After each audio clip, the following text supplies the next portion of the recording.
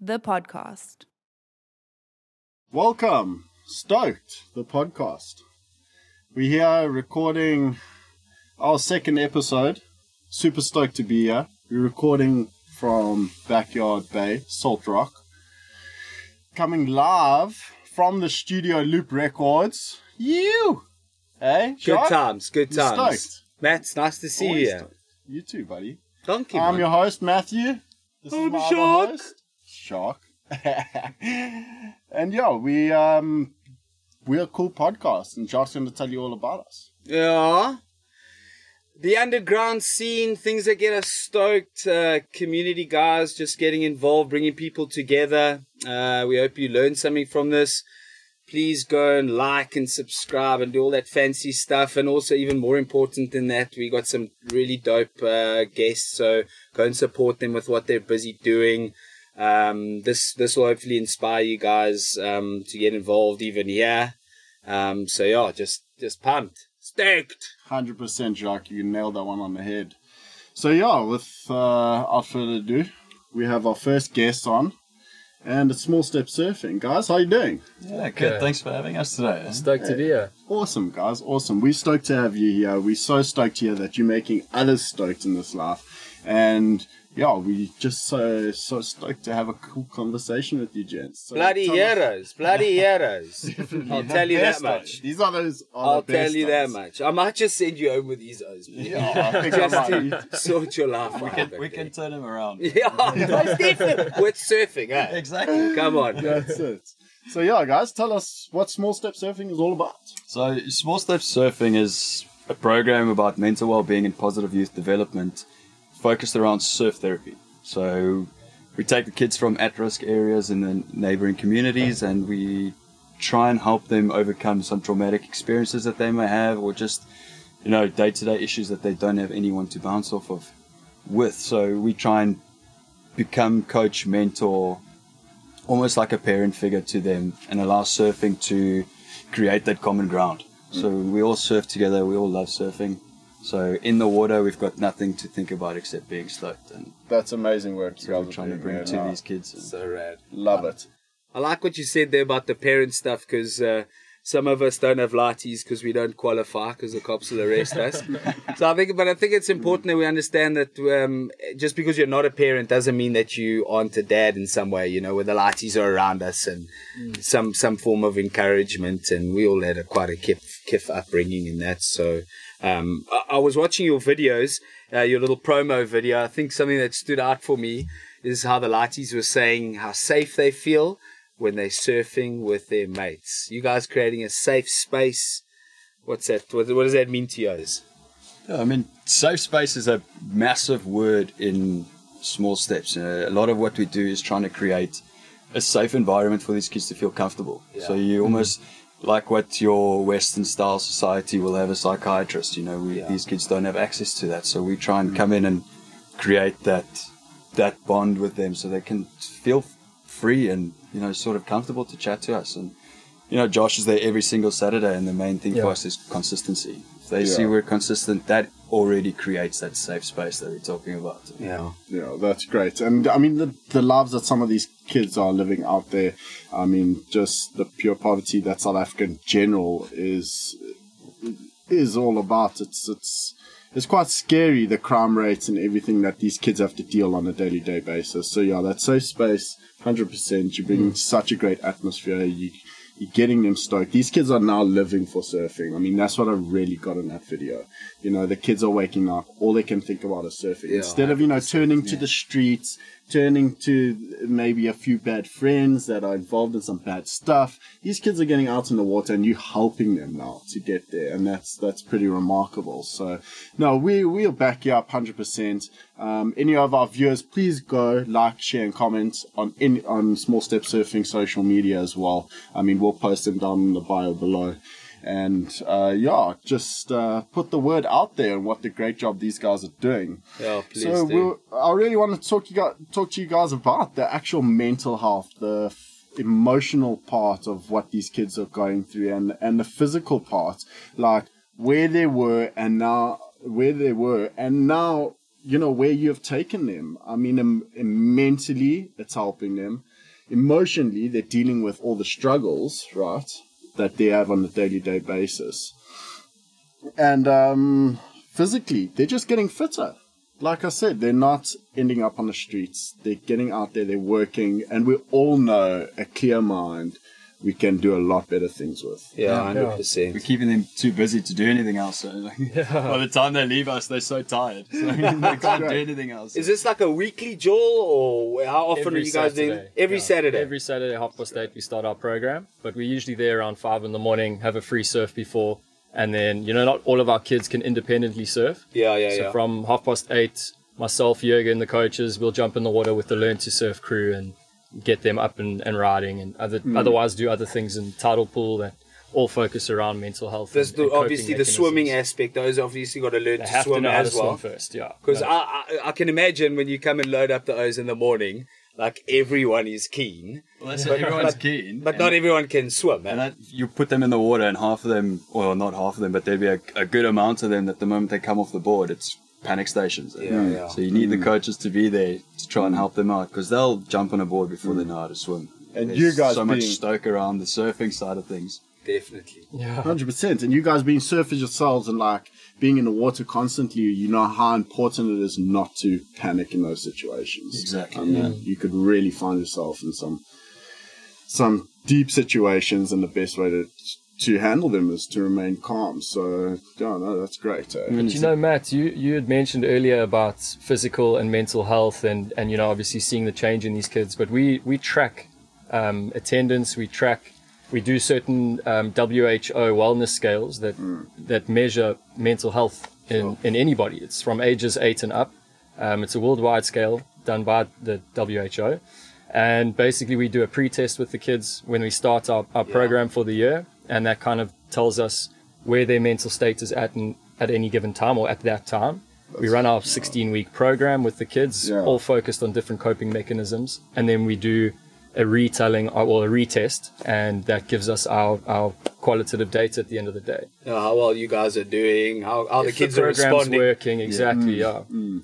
Mm. And the the Show that back to the parents. How do they react? Well, a lot of it is from the parents. You know, we've we sent those tests home, and we've got, you know, written statements from the parents saying the, the kids are more respectful at home. They Sure, man, they have become right. kids again. You know, even these their kids school have, grades are going Yeah. up, you know. That's Yeah. amazing, and that just shows like being outdoors instead of being confined in, in indoors. Exactly. Like, Exactly, yeah. That's also and making meaningful relationships, you know, and, and having people to talk to when you have issues is, Hmm. is I think we overlook how important that is. Yeah, Yeah. And for these kids, like Jurgs was saying, they don't really have many people that they can look up to and speak to. And and count on provide- that Exactly. every Saturday, Without those are going to be there. exactly. Yeah. Load yours up, hit you the surfboards, Yeah. get ready. Yeah, I was just stoked. Yeah, bro. man. It's just making them You- stoked. we, we all know what it feels like to be looking forward to a gig or look forward to a weekend away. That anticipation, that excitement that it builds. I just can't stop talking about it, and you know, it's something to look forward to. And I think the I think what makes it so lucky is that is that, is that safety again. Eh? Surf with someone that you know, surf, surf, surf with someone that's got your back. Eh? yeah, That's and all of these kids have become such close mates. They're like a little family. Everything they do is together.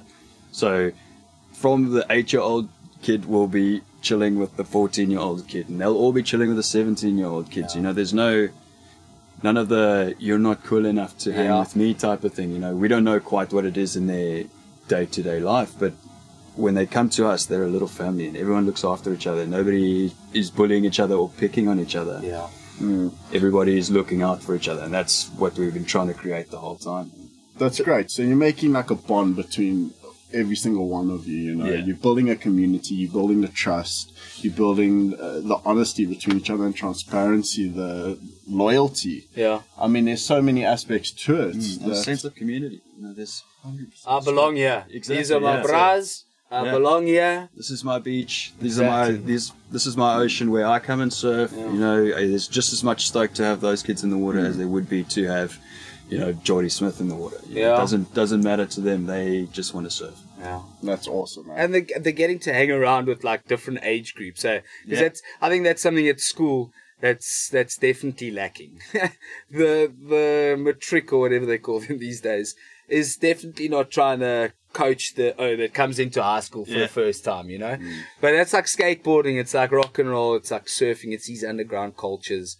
Um, i- yeah, it doesn't matter what background you come from. Um, it's it's the stoke that brings the O's together Yeah. and and builds that community and stuff. And then they and then they bring the guys. They bring the guys in, man. That's and it. And all of our coaches are people who have participants that have come through the program. Mm. So they've shown us promise, and we've in turn shown them that we trust them and allow them to mm. become coaches. And so they become the inspiration for the younger kids. So they see, yes, this like is not sitting there causing Yeah. cuck on the weekends. Yeah. You know, he's he's there, he's surfing, and he's actually taking time to Yeah.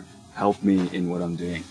Yeah, so they're finding they're finding role models. You're creating role Exactly. models for them, and that's so important in day to day living, especially when you're growing up as a kid, when you don't have a father figure, when you don't have a mother around. I mean, some of these kids come really come from hardship, you know, and uh, th- that's great work what you guys are doing. You, you're giving them something that they didn't have, and uh, it's just gonna help them to progress in life dr- dramatically. I mean, hugely. There's a studies done. I'm I've heard about many studies done. I couldn't quote anything off the top of my head, mm. but I'm sure you guys have been involved with talking of, guys overseas.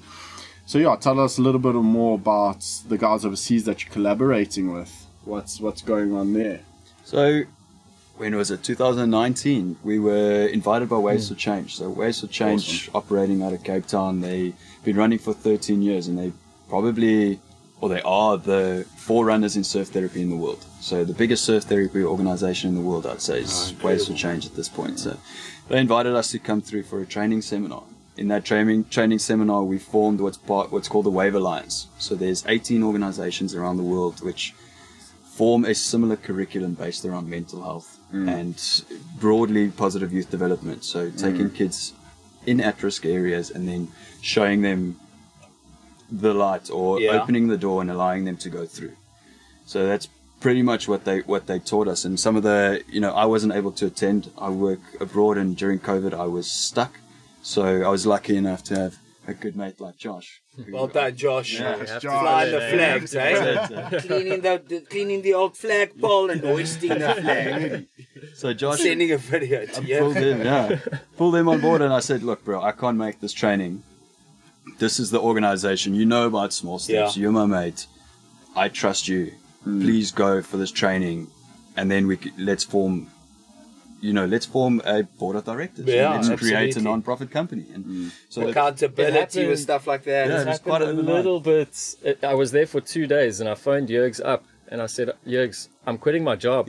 This is what I need to do." You know, at the time, that my job didn't allow me Saturdays. yeah, And Jurg said, "I was hoping you were going to say that." So I sent you. You know, I'm I said, done with the day. This Mission is what accomplished. we're doing. You know, we got to help these kids. I mean, it was it was life changing for me. It was amazing. That's amazing. We'll bring Jurgen on again if you guys want to learn how to quit your jobs. We'll bring Jurgen on again. He'll do a little 10 pointer with you as you can go tell your boss to go get stick with me. I'll show you something. Send you to He's gonna show you the surf therapy. stoke on laugh. Hey, but but you could also because because there's that that network now. You could um, then just slot in if if say the opportunity came to to join one of the guys overseas. You could then slot into that program. You know, I guess your your language barrier might be a little bit of a problem or whatever. But I'm sure there's those doing it in like Oz and the states Yeah. and shit mm. like that. So there's- if that opportunity came, mm, Yeah, I mean, there's 18 organizations around the world. So what we're trying to form eventually is some sort of exchange between us. So Yeah, people nice. can come from all around. I mean, there's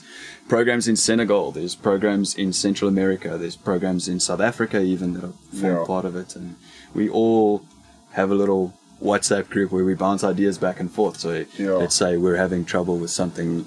We'll put it on the group, and then someone will say, "Yes, yeah, I dealt with that last month. You know, cool. This is what I did. Send you all the documentation Yeah. to assist you." And Yeah. so we've got a nice network of people, a really awesome network of people that assist us in everything we do to try and make a change. And if you shit on your backhand, those can fluke you as well. Yeah, exactly. That's it. a little bit of constructive criticism. That's what I yes. as like. You guys are, you guys are rocking, and I, and I hope you guys are super proud of of what you guys are doing, and you know, like like looking forward to. But uh, you know, I've I've done a little bit of like I don't know if you want to call it charity work or anything, but uh, when I was doing that kind of thing. Um, I learned the most from those that I was helping. Um, so any like yeah. dope dreams or anything that you've learned from the lighties that they've shared with yo's. What's Um, what's what have they done to make you guys stoked? You know, like well, yeah, what have you learned from them? That's Yeah. pretty much what Jock's saying. eh? Like, Most of, I mean, over the last couple of years, Josh has spent most of the time with him. The small times that I've come in, it's just they're they're stoked. eh? Like it sounds so cliche to say, but Yeah. the fact that they're there on a Saturday and those kids don't even think about it. They'll if they get to the beach, they grab a board, they go to the the water and they check. Okay, cool. There's surf. Let's go. We're in. You know, there's no if buts, whys, maybes, or I'm lazy. The or, simple stuff. yeah, there's this footy game on. I need to go and watch it. Yeah. They don't care. It's about they want to surf. They want to enjoy themselves. And I'm pretty sure Josh can give you a lot more insight Yeah. into hmm. the kids' day to days. I mean, he's been with them for the last two years every Saturday. Yeah, I mean, you said it was a, a life changing experience for you in the beginning. I mean, that's that's pretty remarkable because it, to me it sounds like it was a spiritual life changing experience. You know, you you, you grew from an internal aspect, you know, and ju- just like getting stoked on seeing what uh, how you can help others. You know, Yeah. So yeah, Josh, tell us tell us a bit more about like what have you learned? Bro? Like, Yeah, what have they taught you? Jeez, well, I- I mean, if it wasn't for, let me put it this way: when I when I arrived in Cape Town, first meeting we had with before we started any training, they just said, you know, what what burning questions do you mm. guys have? What are your what are your burning questions? This was was posed to us by Waves for Change, and you know, we had a bit of time to think about it. Basically, what do you want answered out of these two weeks, this two week training course? You know, and mine was literally turning passion into implementation. And I think I went there um, very unself confident. What's the word? Yeah. You know, I, Yeah, I, I, I, I was, yeah, I just, I didn't have enough self confidence in being able to pull off something like this. Now you, you, you're messing with people's lives, not messing if you do it correctly, but you are, you, you have these kids' mental well being in your, in the palm of your in their hands, lives, you yeah. know? And, um, after the two weeks, I mean, it was definitely answered. I was equipped with what I needed to run it, but you still have that self doubt the whole mm. time. Mm. And I think just getting there with these kids, having them literally just being so stoked that someone actually cares about them and is there. And we spoke about consistency earlier. Yeah. I think the biggest thing that made an impact on those latis is that we said we are going to be there at X time on X day, and we were there every single time Yeah. without fail. And that started to change things for the kids. Mm. And they, they realized that it's not just someone who's coming here and says, okay, cool, I'm going to be here. They're there for a month and they don't see them for six months. They come back for a day and then they're gone for another three months. Yeah. We were there every single day. Well, Josh, I mean, Josh drives to their houses and Yeah. picks Yeah. each kid up from their house. So it's a good 30, 45 minute process of him collecting each child. And so, Yeah. Yeah. Yeah. you know, we don't expect them to come to us. We go to them and we. But why would you not go and pick up your mates, eh? Exactly. I think sometimes we said, Josh. Very well said. like the, the, the separation and shit like it, it gets in it, it gets insane i mean i I- you know i grew up in the limpopo province and the skateboarding o's couldn't hang out with the rollerbladers oh, and they couldn't hang out. we were like there's so little of us Segregation, in this shithole town there's so little of us we have to stand together Yeah, exactly. we have to stand together and eventually become like this small little gang that just no one wants to muck with but we're like the nicest O's. we just want to skate Have a Joel. We've got the coolest town. Like we've got everything you need. We've Yeah. got bloody trails just out here. We've got the ocean just here. We Yeah. are literally three hours touching distance of the most beautiful parks in South Africa. So Absolutely. why wouldn't we utilize the beautiful area and the community that comes with it? Yeah, 100%. You something I really want to touch on is like the way you're going out there and collecting them. You making surfing accessible for them. I mean, Yeah. some of them really can't get to the beach. Um, yeah, I really love that part of what you guys are doing. You know, you're getting right in there, you're getting involved, you're getting submerged. You you're making a dream a reality for these guys. You got to climb into their lives. eh, You Yeah. know, we, d- we don't want to just sit from the outside and give advice. You know, we want to Yeah. show them that. Okay, cool. You've banged up your knee. I'm going to be there next to you. I'm going to take you to the hospital. I'm going to make sure everything's sorted, type of thing. You know that exactly like you said in the beginning, the parent role. You know, someone that's there that actually cares about you. You know, that's I think goes a lot further than just the simple act of collection or or finding that, you know, going to the houses to to collect them yeah you know, showing that we care goes a lot further. It's huge. It's huge. Massive. And those that are going to get involved, and this is why I think we're going to always encourage the viewers and the listeners to get involved with the guys that we are that, we're getting on board because it's going to change your life more than more than you're going to change a lot. A latie mm. that lives in a township, you know, that is on a constant learning expedition. Like, you know, he doesn't know, he has no like promise of tomorrow. He doesn't know where his next child's coming from. He doesn't even know like whether his parents are coming home. You know what I mean? Never mind, you know, getting hooked up with a surfboard. Um, how's how are the sur- how the surfboard? Has every latie got a board? Are they're sharing boards? What's the vibe there? So we've got uh, Waves for Change gave us ten learn to surf boards, um, soft tops, and so our, our learn to surf side is is sorted there. We got uh, boards, fins, leashes. Uh, fins over time have kind of just smashed up. As they do. Whoever's eating fins out there, we are gonna catch you and we are gonna bless Yeah. you. Because that uh, So Um, if your thing, if your equipment's getting damaged so so much, and you know it's hard to keep up with the demand because you are getting a lot of kids involved. I mean, where, where can the public help you guys? Really? to be honest, um, Jurgs and I have been having this discussion, and uh, we've kind of been like, we need to back off from saying that we need funding, you know. But at the end of the day, we've got boards, we, we have fins, uh, spares, and things like that that we can fix up. But what we want the, the community to, to entrust in us is that if they give funds over, we're going to use it to the better of mm. these Yeah. these mm. kids. And I think that's where people start to mm. worry about handing over funding. And we haven't mentioned funding at all. Sure. We've said, yeah, bring boards. Now we've got 50,000 boards that some of them are way too big for the kids Yeah. and probably will be until they, they're 30, 40, Yeah. you know? Yeah. So we that's our thing is is it's we actually just need funding and then we can figure out what we need, what we're short of. Yeah. You know, we've got the coaches to pay food, transport. There's Yeah. there's a lot of expenses that goes into it. So if Yeah. and if people can't afford, yeah. make chow for the kids on Yeah, a Friday. there you go, It's yeah. thirty lattes. Make sandwiches. You, can, you only have to surf once to know that there's nothing that makes you okay. Maybe two things. There's nothing that makes you hungrier than surfing. You know what I mean? It's like- You just want like a Big Mac after. Can we not just do a little, ass Coke, little you know? floaty at the back there with a couple of sandwiches, something to drink, so by the time I finally get to backline, I can actually have a chow as well. So that's it. I mean, But- on the Saturday, that's what we give the kids. You know, we, I can't have it. I don't have it in me to send those kids home on an empty stomach. You know, like you said, they don't know where their next meal is coming from. So we feed them on the Saturday. We go and collect them. We drop mm. them off. You know, and that happens with consistency. And the only way that keeps happening is through funding. Yeah. So I mean, a lot of our those are our two big expenses at this point is transport and food. and the chow. Yeah. But I think it's also, I think it's a valid valid thing that you say there. If I bring you, if I bring you some chow, and you don't need that chow at that moment. You know, it becomes tricky because now this food's going to go off, and maybe it's something that I could have contributed. But I think we need to also challenge ourselves and say, you know, the reason why I'm giving food is because I don't actually trust. Well, then it's not a gift. You, I don't give you a phone and like a month later I'm phoning you and like, hey Josh, are you using that phone? How much SMSs have you sent? you know, like if you're gonna give a gift, yeah, those are always like you can't give homeless people money, eh? They're just gonna go do drug. What like you? you Yeah, exactly. like drugs like you.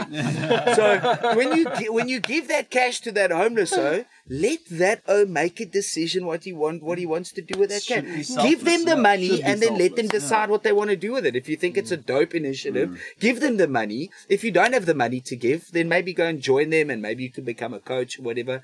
But give the O's the cash so that they can use those funds because funds can sit in a bank account. It doesn't go fraud. Mm. It could actually do interest or whatever. So all you Bitcoin O's, get involved. Get involved. Mm-hmm. O's, I think we have sucked the stoke right out of you. So what we're planning to do is Never. Love we are harvesting stoke to take over the world. O's, That's it's it. been Yeah.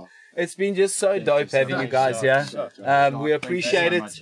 Um, one day when you guys take over the world, please take us with you. Guys, go and like, subscribe, check them out. It's been a dope episode. Look after yourselves, love each other. And keep the stoke up. Daze! You.